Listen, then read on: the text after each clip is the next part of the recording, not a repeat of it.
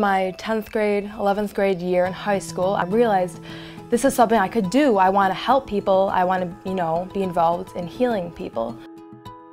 Another thing that drew me to the field of cancer was the long-term contact you have with each patient. You're, you know, talking with them every day and that was one of the biggest things that drew me to this field. Our class is wonderful. From, from day one, I knew we were all going to have great relationships. We really look out for each other. There's no like harsh competition. We're always just trying to help each other, help each other study. It's really a great dynamic. I love it. It's really like a little family. Our faculty members, they really want you to succeed. They will bend over backwards, you know, to do things for you, to help you understand the information. You know, they've, they've just really done so much for our class, and they, they really just want you to do well.